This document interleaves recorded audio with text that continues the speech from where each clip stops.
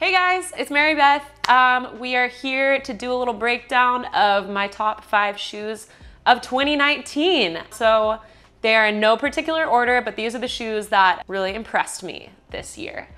So yeah, let's just jump right into it. So first, I would say the Epic React. Um, that was a shoe I relied on a lot as a trainer uh, over the past year.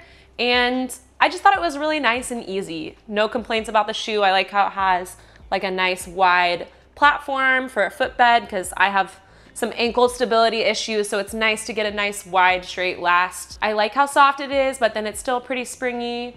And yeah, it was just a shoe I found myself kind of pulling out of the closet over and over for runs. Next shoe in my top five from 2019 is the Altra Timp. This is my first Altra shoe and I'm not gonna lie, I used to be a little bit skeptical about Altra and the whole zero drop thing and those shoes look kind of weird and I don't really wanna wear them. Yeah, I actually met one of the founders from Altra uh, back in January and he gave us a little talk about the technology and the science behind the shoes and like, he kind of won me over a little bit. Um, I got a pair of the Timps and I was really impressed by them. I like the zero drop platform. Um, it feels really natural and good. And I don't know, the cushioning in the Timp is just really nice. It's like if you took the Lone Peak, which is a great trail shoe, and then you kind of combined it with uh, the Torin. So it's like if the Lone Peak and the Torin had a baby, it's just like a really smooth ride, nice cushion, but not too much shoe. Um, and yeah, it really impressed me. It's been my go-to trail shoe lately. Next shoe that impressed me was the Hoka Rincon. I'm apparently not, not allowed to say this. Oh, you can say it. I can say it. Well, okay, so the Rincon is very reminiscent of a Hoka shoe that we know and love. That's all I'm gonna say. Um, it's a nice little throwback, a nice nod to one of the OGs. Super lightweight. I was so impressed by how lightweight it is.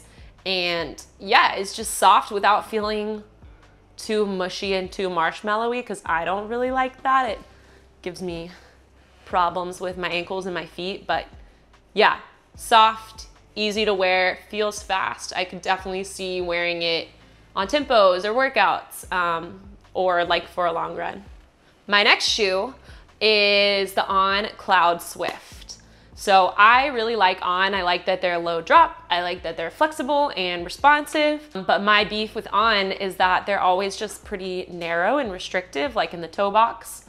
And the Cloud Swift was the first on that really impressed me in that way of being really accommodating.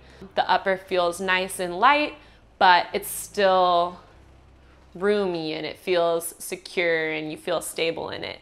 I just feel like they're onto something with that one. The heel, my one downfall is the heel stack is a little much. It's actually like a seven drop and I would love it if it was more of like a four. But yeah, it's a great shoe. I've been wearing it for long runs, daily runs, super easy to wear. So my number five shoe, I said that these were in no particular order, which was true, but this shoe is the top. Nothing compares. It's the GOAT shoe. And also, I know I said that these were shoes of 2019, but I'm gonna cheat a little bit because this shoe came out in 2018. But I love it so much, it's gotta be in the top five. The Saucony Freedom ISO blew me away. I just think it's a great go-to it's got that nice four millimeter drop. It's super low drop. It's very plush feeling shoe. I really love the, uh, what's the foam called? The Everrun. The Everrun, how could I forget? Um, yeah, the Everrun foam feels really nice and plush without being too mushy. It's also super responsive. And yeah, that's one of the first lower drop, more minimal feeling shoes that I've found that is also really soft and squishy and nice. The ISO upper is very nice. It's accommodating, but also gives you like a good custom fit in the midfoot. And yeah, I work run specialty and that shoe is kind of like my silver bullet. Like usually whenever I bring it out, that's the shoe that the customer ends up going with. It just seems like it's a shoe that works really well for everyone, whether you're a fast runner who's like elite and trying to hit like really fast times, or whether you're just like a really casual runner who like just wants a comfy shoe.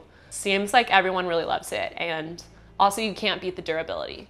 I wore mine for like a full year before I was like, okay, I should stop wearing these on runs. They just last a really long time. So yeah, Freedom ISO, best shoe of 2018 and 2019, in my opinion. You know they're gonna do Freedom ISO three. In I know. February. I, I thought there's gonna be no ISO. There's no ISO, and they're changing it from Everrun. So it's gonna be Freedom 3. So Freedom three, no ISO. No. Everrun. They're changing it. Get the Freedom ISO while you can.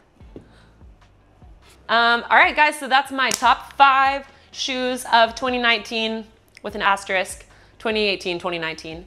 Thanks for watching.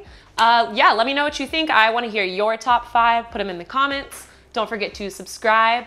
And with that being said, stay in school. Be sure to stay in school. There it is. Don't do drugs. If you can, keep it tight. Keep it tight. I forgot the outro. Okay. Let's subscribe anyway.